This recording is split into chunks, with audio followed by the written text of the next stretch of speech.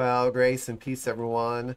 My name is Paul Dezay. I'm the pastor here at Sandy Hook United Methodist Church. It's good to be with you for our uh, preview for Sunday. Uh, every week we we talk about what's coming up this Sunday, and this Sunday is going to be an exciting day uh, for us as a church. We're gathering this Sunday on the Good Shepherd Sunday to hear from the Shepherd.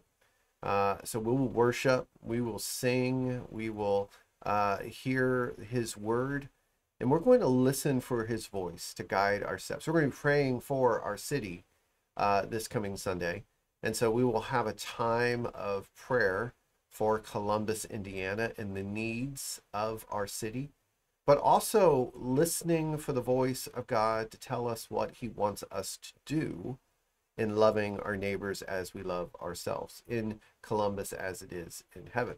And so we'll spend some time listening for the voice of God. We're also going to, during the afternoon, evening, participate in a prayer walk. And the way this is going to work is on Sunday morning, we're going to pray for God to lead us to where He wants us to walk and pray.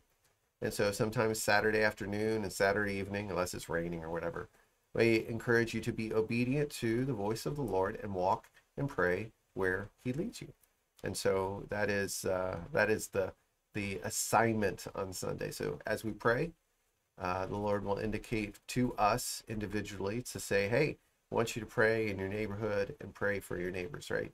Or I want you to go downtown and pray for the businesses and the people that you see."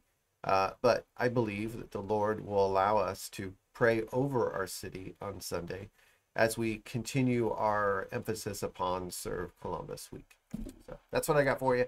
I hope you are excited about Sunday. Invite your friends and family as we bloom where we're planted, and hopefully the sunflowers are uh, are growing. As you can see, there's sunflowers back there, and I just noticed that there is a hand uh, going up in the field here. So I'm not sure who that is. If that's you, let me know.